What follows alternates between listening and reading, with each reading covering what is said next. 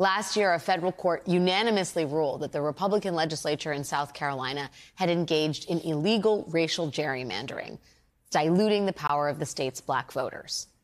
But today, the Supreme Court reversed that decision. Writing for the majority, Justice Alito argued that the courts must give South Carolina Republicans the benefit of the doubt when they say that race had nothing to do with how they drew the congressional maps. Quoting from Alito's opinion, when a federal court finds that race drove a legislature's districting decisions, it is declaring that the legislature engaged in offensive and demeaning conduct that bears an uncomfortable resemblance to political apartheid. We should not be quick to hurl such accusations at the political branches. In other words, it's pretty offensive to accuse South Carolina Republicans of racism. So let's not. And if there's no racism, then there's nothing to see here, folks. But if Alito's decision seemed absurd and also extreme, another Reagan administration alum, a man by the name of Clarence Thomas, took this all one step further. In his concurring opinion, Justice Thomas argued that the federal judiciary should have no role in settling disputes about any election maps. And then he called into question a half century of precedent following from the court's landmark decision in Brown v. Board of Education. I mean, hey, why not? Abortion, affirmative action, voting rights, all of them already on the chopping block. Why not go for desegregation, too? This is what it looks like when you fill government with political zealots. The administration may end, but the people do not necessarily go away.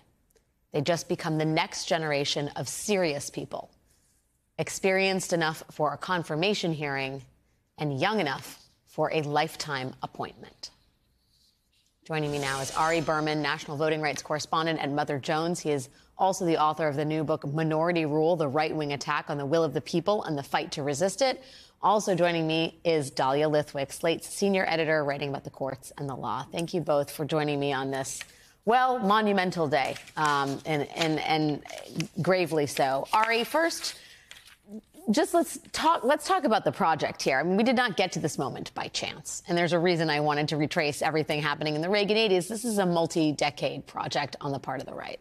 I was having PTSD from reliving my last book and then going into my, my new one I'm because this is history that's very familiar to me, which is that the conservative movement specifically put people that were opposed to the civil rights movement, opposed to voting rights, opposed to these policies in positions of power to do things through the courts that they knew they could not do through the normal political process. They would not have been able to get rid of the Voting Rights Act, overturn Roe v. Wade through the normal political process. So they said, let's stack the courts. Let's construct an anti-democratic court that will then do all these anti-democratic things that we can't do through the normal political process. And we're seeing this decades long strategy play out today where they're accomplishing all the things they wanted. They are overturning Roe v. Wade. They are gutting the Voting Rights Act to such a point that it's barely effective. And this didn't happen by chance. Basically, the conservative movement has made the courts their test case for minority rule because they know that the court, at least in their hopes, will be insulated from political accountability. And certainly the way the justices are acting, they feel like they are insulated from political accountability. Yeah, I mean, uh, um, this week of all weeks, Dahlia, when we find out that Justice Alito has uh, flags uh, bearing the hallmark of the insurrectionist movement flying above more than one of his homes. Here he is again, again, going against the will of the people, the will of our sort of democratic process to undermine voting rights. What is your reaction to the decision today? Yeah, I mean, I think your point is the right one, Alex, which these are both stories of minority rule and complete lack of accountability. And I really want to make one more pitch to folks who are listening that these are the same story, that we tend to sort of talk about, you know, Alito malfeasance, weird behavior, upside down flags as a kind of a one story, and then the doctrine that comes out of the court as another. And they are so intrinsically connected because they are both stories of what it is to create a judiciary that is so utterly, utterly protected from uh, public dis disdain, public displeasure from the sense that they are subverting democracy as we know it. And I think both the decision today and Justice Alito's public comment conduct, where he's just flouting every single ethics and sort of appearance constraint, they are of a piece. They are both stories of what it is to be utterly untouchable in this moment. Um, this is going to have implications and beyond the conservative project. There's the immediate impact on our elections and how we have a, a representative democracy or not. Ari, this is happening in South Carolina, but how do you see this decision echoing across other states? Well, you're right. I mean, what it does is it gives Republicans another House seat, and the House is going to be very close. So every seat matters. And they also ran out the clock in this case in the way that they're doing with the immunity case because a lower court was already forced to basically say Republicans can keep this district, even though they called it a stark racial gerrymander. Then the Supreme Court, of course, went further, and now they're making it very difficult to challenge racial gerrymandering in the future. And if I can just contextualize this for a second, they've already gutted the Voting Rights Act twice. Right. So they've already ripped the heart out of the Voting Rights Act. They have also said that partisan gerrymandering cannot be challenged in federal court, which is absolutely insane. You could draw a map where one party gets 30% of the votes, 70% of the seats, and they'll say you can't even challenge it, let alone strike it down. So racial gerrymandering is really the, one of the only things you can still challenge in federal court when it comes to voting rights. Now they're saying basically racial gerrymandering is going to be a lot harder to challenge too, because essentially what Alito's saying, let's give the benefit of the doubt to the people that are doing the discriminating, yes. as opposed to those who are facing discrimination. Who are fighting it. And this is a very consistent theme from the court. Their sympathies lie with people that are suppressing votes, diluting votes, making it harder to vote, as opposed to those people that are facing those obstacles to voting. Would you say, Dahlia, that there's inherent? I mean, I'm not asking this rhetorically. I am actually asking this. It, it, there's there, in in saying that the race has nothing to do with this. They are also just revealing the racial agenda that they operate within and under. Is that is that is that unfair? Because nine times out of ten, these justices, with the exception of one ruling earlier this year, are always going with the white people.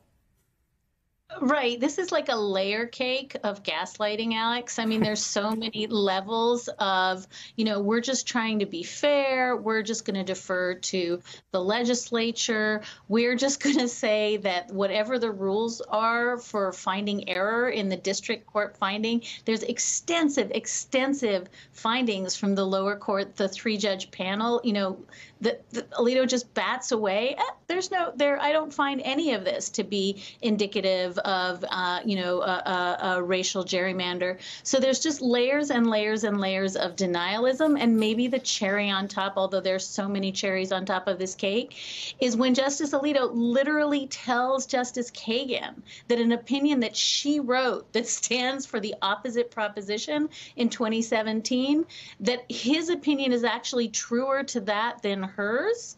And when she says in her dissent, like, no, you've just completely subverted everything I wrote, he's like, oh, honey, listen to me. So there's just every single check that was supposed to protect disadvantaged racial minorities from having their power suppressed over centuries, every one of those checks is batted away under the theory that this was never a problem. It's certainly not a problem now.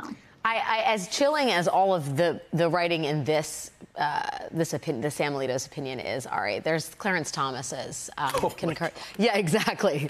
That as if as if anyone needed to be more fearful of where we're headed as a country. He's basically suggesting Brown v. Board of Education has no there's there's nothing that should really follow from that. It has no teeth. We shouldn't be involved in the the the, the, the, the court should not be in, involved in this business. I mean, reminder, Clarence Thomas was put on the court to replace Thurgood Marshall. Yeah. I mean, the irony and um, the the the sort of democratic uh, alarm bells that should be ringing.